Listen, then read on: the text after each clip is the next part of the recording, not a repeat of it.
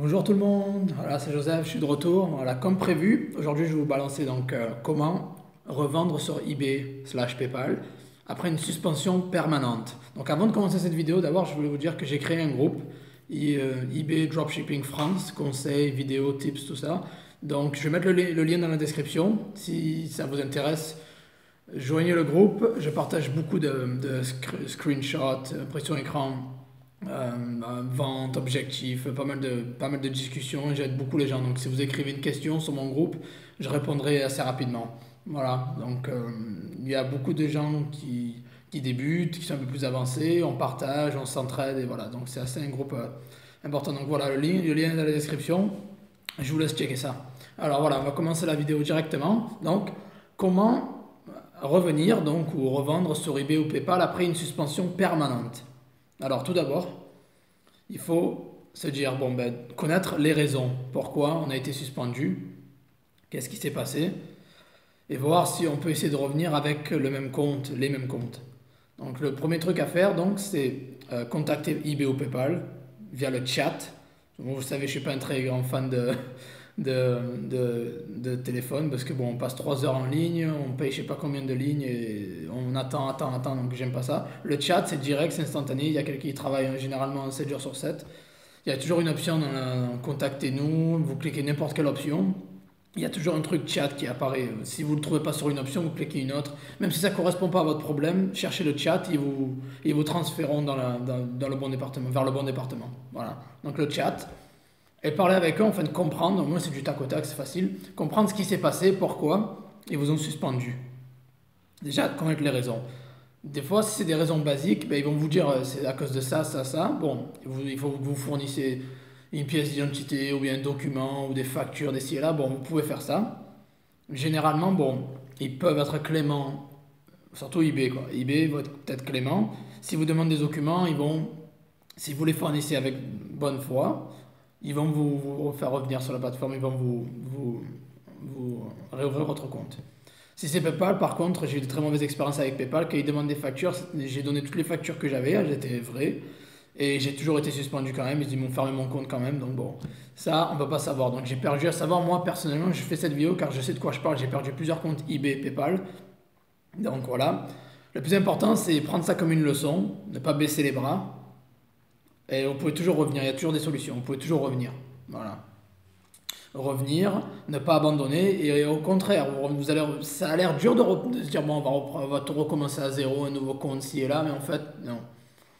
Vous avez la possibilité de revenir, vous avez, vous avez de l'expérience plus qu'avant.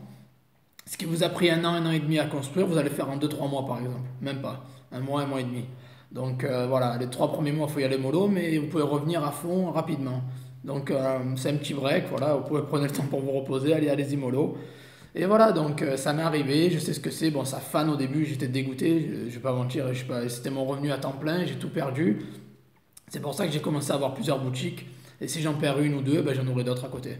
Donc euh, c'est pour ça qu'il est important de diversifier vos revenus, parce que tout peut s'arrêter à n'importe quel moment, parce qu'ils PayPal ils sont assez susceptibles, et ils n'aiment pas trop les, les dropshippers comme nous. Quoi. Donc bon, voilà. Donc, euh, savoir ce que c'est les raisons de la suspension, voir, essayer de discuter avec eux, voir si ça peut s'arranger.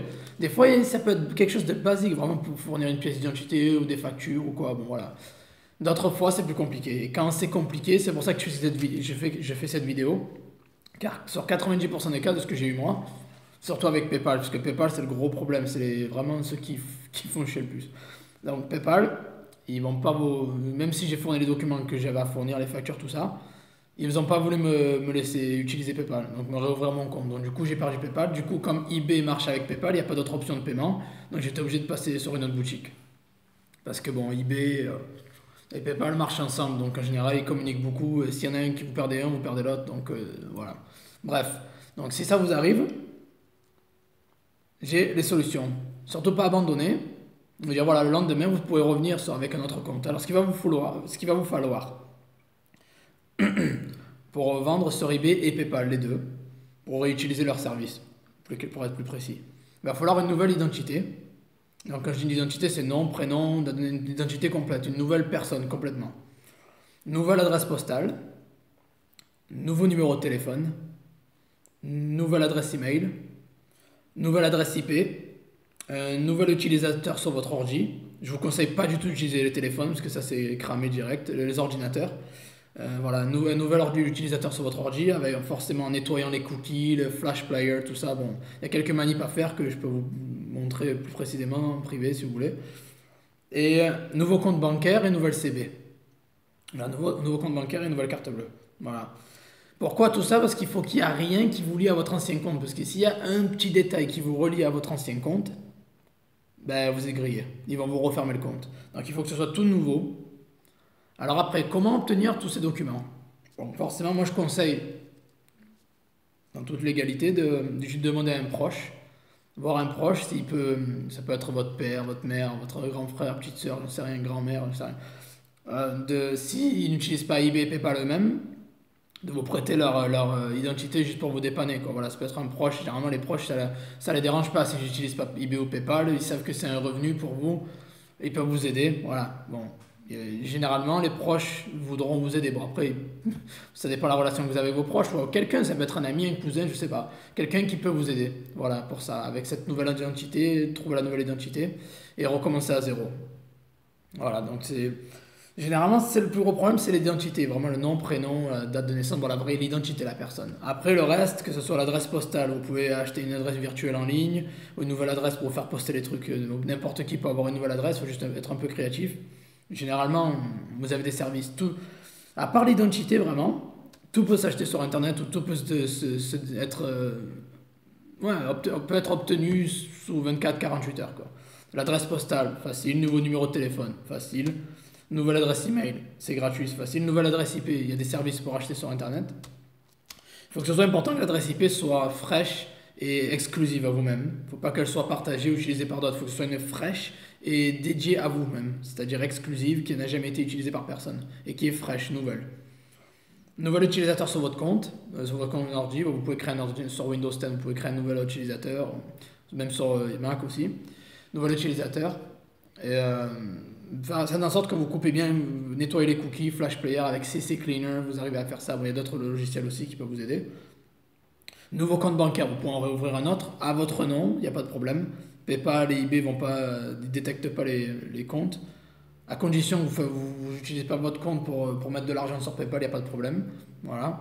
Donc un compte et une carte bancaire, ça peut être un autre compte. Donc si vous êtes chez la BNP, vous pouvez utiliser, votre compte de la caisse d'épargne, par exemple. Donc il n'y a pas de problème, que ce soit votre nom, il n'y a aucun souci. Voilà. Donc tout peut s'obtenir assez facilement, sauf l'identité. Voilà, c'est assez problématique. Euh, il faut demander à un proche. Sinon, si vous n'avez personne et vous êtes vraiment coincé, venez me parler en privé.